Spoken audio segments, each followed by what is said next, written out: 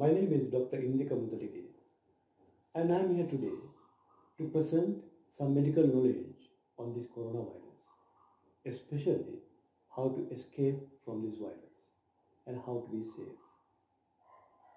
I believe it's a duty and a responsibility of us as medical professionals to present some important scientific knowledge on this coronavirus because it's pretty clear that a lot of fears out there. And what to this fear is confusion. Not only the confusion but also feeling of helplessness and hopelessness with a sense of uncontrollability and uncertainty. But if we present the scientific knowledge the medical knowledge it will help you to understand the essential facts about this disease. Constant media coverage about the coronavirus can keep us in a heightened state of anxiety. So don't be panicked. Try to limit related media exposure and instead seek out for the factual information from reliable sources. When we are stressed, it is easy to see things as worse than they are, are. Rather than imagining the worst case scenario and worrying about it, you need to focus on few scientific facts about this disease. How to be safe in the first place without taking you through these complex stories and the scientific jargon of the coronavirus today. Let me tell you about the essential scientific knowledge which will help you to escape from this corona infection. Other than anything, there are three important facts you need to know. Firstly, what is this coronavirus and how can you re-attack this undeveloped species? Secondly, how does it enter your body? And then you know how to prevent getting it infected. Thirdly, what are the symptoms and what you need to do if you feel unwell. Let me start with what is coronavirus? It is a genetic mutation, let's say an alteration, a new type of existing virus called coronavirus. The latest scientific name which has created by World Health Organization is SARS-CoV-2. This is the official name for it. This virus is very deadly, has a very high mortality rate, and this is very very contagious. That means it can propagate from one person to another very very easily. That's why we are experiencing this terrible, disastrous, catastrophic pandemic. This virus has so far killed more than 27,000 people and infected more than 600,000 on this planet. These figures should give you an eye-opening how deadly it is. This calculation shows you nearly 5% of infected people are dying. That means 1 in 20 infected people are dying. I am repeating this again. This disease has a very high mortality rate. So, how does this deadly virus spread? Examining these figures, it has infected 600 individuals in more than 190 countries just within four months.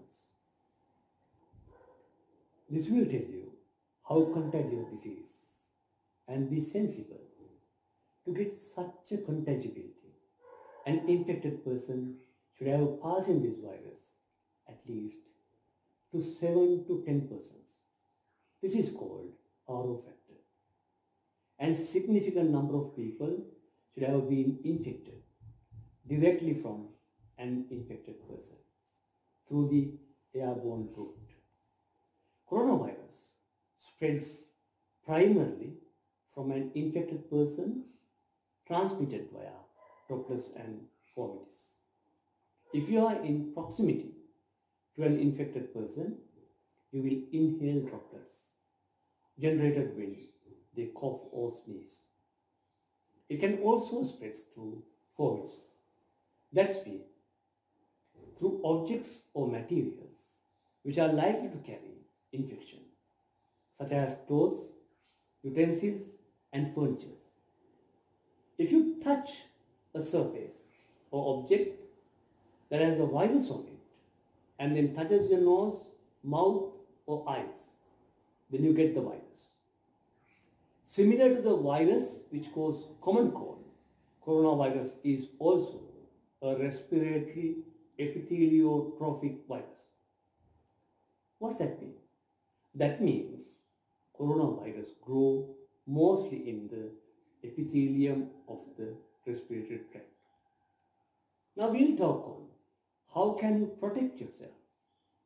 This virus shed off through the respiratory tract. It mainly grow in the respiratory tract. The virus enters your body through the respiratory tract. So you need to protect your respiratory tract, your nose and your mouth. Wear a face mask.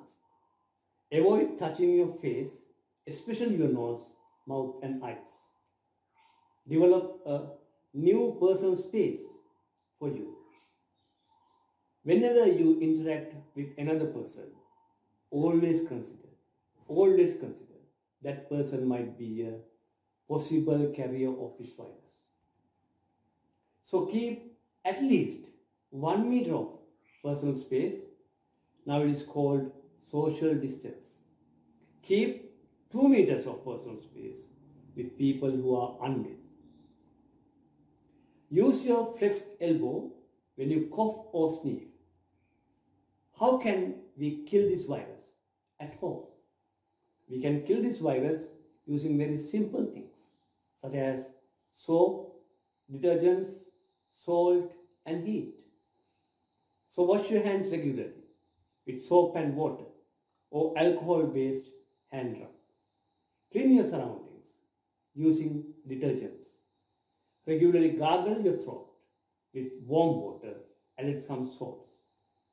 Regularly rinse your nose with warm water. Do steam inhalations regularly. Remember always, this deadly virus enter your body through the respiratory openings and heat can kill the virus. So I repeat you, you can gargle with warm water. You can rinse your noses with warm water. So you can kill the virus. Don't expose yourself to this deadly virus. So most importantly, stay at home and self-isolate from others. Be away even from your family members for at least 21 days if they are suspicious who have got direct exposure or coming from a foreign country. Finally, we talked about the symptoms associated with this disease. Symptoms of COVID-19 are non-specific.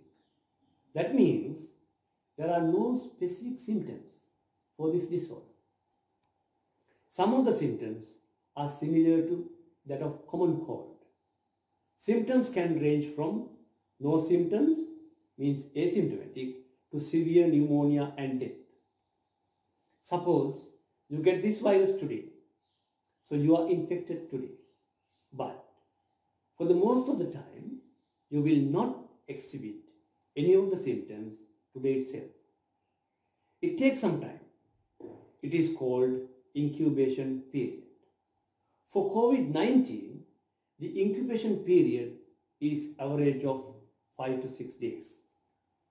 But some of the patients in Wuhan started exhibiting symptoms within a day.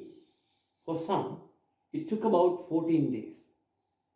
So, for Wuhan patients, the incubation period had a range from 1 to 14 days.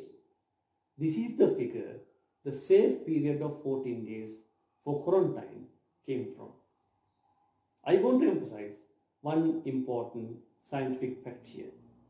This 14 days of quarantine period based on the incubation period is valid only for the Chinese population. We can't generalize this value for the other populations. Incubation periods may be different from one population to other. It depends on various factors, including susceptibility of the host and immune response of the host. So incubation periods may be different from China to Italy, where the elderly people are more, which might be more susceptible, and from UK to USA. Therefore, I would say, to be safe side, be away for more than 14 days, at least 21 days from the people who have got direct exposure. This is the results with regard to the pattern of disease progression in China. According to the severity of symptoms, we can categorize patients into four types the mild, moderate, severe, and critical. What you can see from this is the severe and critical patients who can very rapidly progress into ICU and then progress to death. This can happen as rapidly as three to four weeks. But it doesn't exclude the patients who are mild or moderate. While rare, we can't exclude them. They also can rapidly progress into ICU and then progress to death. If you look at the symptoms profile, 80% of laboratory confirmed patients had mild to moderate disease. 40% had severe disease. 6% patients were critical. All had cough. Whereas in 66% of patients had dry cough and one third of patients had sputum produced cough.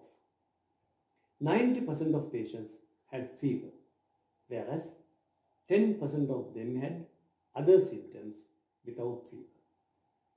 40% of patients had fatigue. 20% had shortness of breath. 15% had sore throat. And 15% had headache. And 15% patients had myalgia or arthralgia, especially backache. And chills can get in 10% of patients.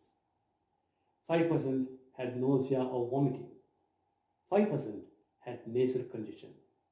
5% had diarrhea.